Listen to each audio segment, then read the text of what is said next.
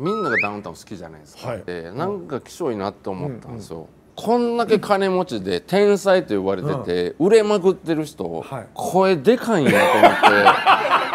て 驚愕したんですよ。NSC 入った時にみんながダウンタウン好きじゃないですか、はい。であこの間のコント見たか、うん。とか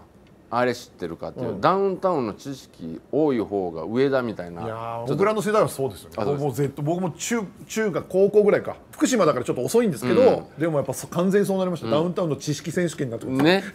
で NSC でこれからお笑いを言ってる時になんかそんなん。でビジュアルバム見たかはい「ああ貸してくれや」とか言ってビジュアルバムが回っていって「いやおい俺のビジュアルバム。いやあいつに貸してよ。いやどこやねん」とかまあ揉め事があったりとか。わかる。ほんで僕はそう言うてる同期見ててなんか希少いなって思ったんですよ、もちろんすごい偉大な方、この世界入る前までは大ファンです。まっちゃん難波で見た時に触りに行ったこともあります、でも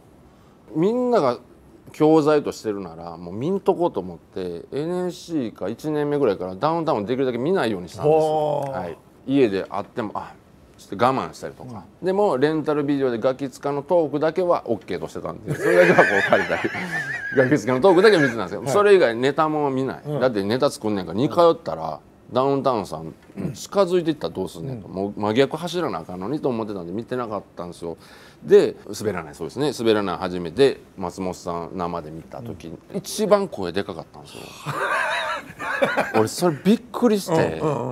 こんだけ金持ちで天才と呼ばれてて、売れまくってる人、はい。声でかいんやと思って 驚愕したんですよ。あでもそれ分かります。昔から見てたダウンタウンさんって浜田さん声でかいけど、はい。松本さんそうでもないイメージでしたよ聞いてるイメージというか、あんまりダウンタウン学を研究してはいけないと思ってたからしてなかったんですけど見た時メジャーリーガーそれこそトラウトが一塁までダッシュすんねやっていうその なんていうんかなあー負けた感というか思ったんですね。アカン警察っていうのを出させてもらってそれ日本撮り、どっちも出させてもらってたんですけど、いつも「あかん飯」って言って、あかんご飯を紹介する、まあ、女性タレントご飯に納豆入れてマヨネーズかけてそれからまあ例えばファンタグレープかけるんですよみたいな。ほんまかみたいな。えーみたいな。でそれをみんな試食する。ローラさんとか「あまずい」みたいな。うわ受けますよね、渡部篤郎さんとか「なんだこれ。ボーガーンってなるんですよ。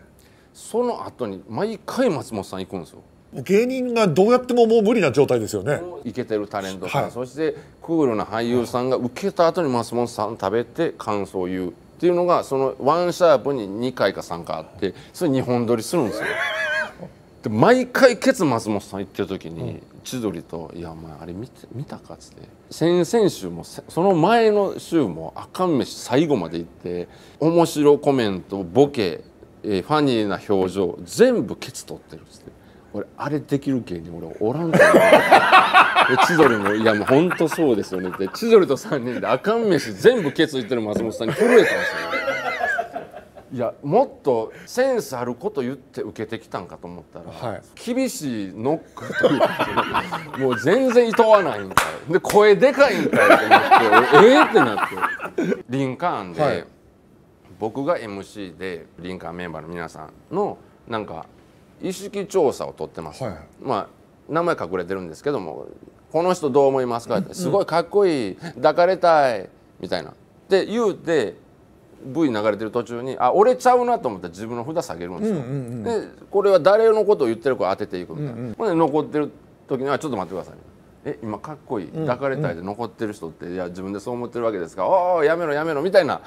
ことの言う役やったんですけど TMC 行った時に「今日お願いします」打ち合わせして「お願いします」って言ったらしばらくしたらスタッフが「松本さんが呼んでますんで」ってなってえ怖っと思ってバーって言ったらなんかちょっと松本さんが「このコーナーちょっと成立するか?」みたいな、こうこうこうでこういう場合難しいんじゃないかみたいな感じでどうしようみたいな感じになってはいでまあスタッフさんもこうピリッと。そうですよねそりゃで僕バーって言って「はみたいな「いやこれお前どう思う?」みたいな。ちょっとその甘い部分があるコーナーじゃないかということで、うん。ちょっとその心配、ちょっとうんやったんですよ。だからで松本さんに闇雲に反対するのもちゃうので僕は正直にあ僕はこういうパターンもこうあってやったらこのビッグメンバーおったら僕は成立するんかなと思うんですよ。こういう部分とかどうでしょうって言ったら「ああ」って松本さん。が「ああまあ小籔がそうやって言うてんやったらまあ、うん、ええか。小籔が見えてんやったらええわ。行こうか」って言ったんですよ。で本番入ってもうただでさえ林間やから頑張らなあかんけど先ほどの松本さんの言葉もいただいてる。小籔だったらええかって、えうん。えやしちょっと松本さんうんと思ってる。じゃあ俺頑張らなと思ったんですけど一番頑張ってた結果松本さん 俺女やったら好きになってたでっていうぐらい一番立ち上がって転がって「おい!」って言ってたの松本さんだけや見えにくいコーナー後輩がいけるって言ったら 普段の倍頑張るんかいってなって。この人はまあもちろん後輩のためもあるやろうけど成立させる。お客さんを笑わせないといけない、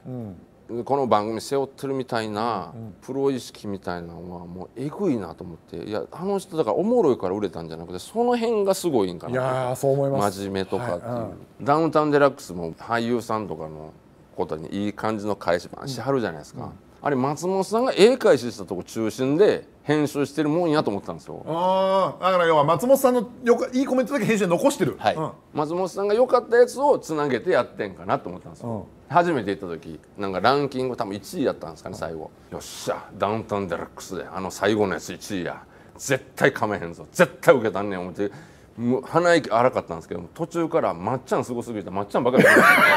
自分のあの10の10ではい。最後のコメント落としてるんですよね、だからええとこだけ繋いでると思う。ちゃんと全部おもろかったからええってなって。ほんでおばさま演歌歌手と、おじさん歌手がなんか変なラリーするんですよ、どうすんねんみたいな、ラリーした後ボールがトイントインって真ん中転がったの松本さんできてバーンってシュートした時 ってなって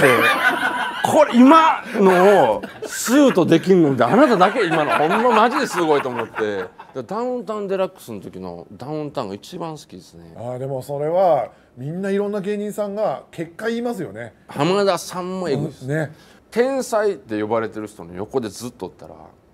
頭おかしなります。普通の人間やったら、浜田さんを務まる人っていや俺おらんのちゃうかなと思うんですよ そうですよね。だから普通の人間やったら松本さんの横おったら潰れてます。ってことはイコールダウンタウンなかったと思うんですよ。松本さんがいたからダウンタウンなのかもわかんないですけど浜田さんおらへんかったらダウンタウンは僕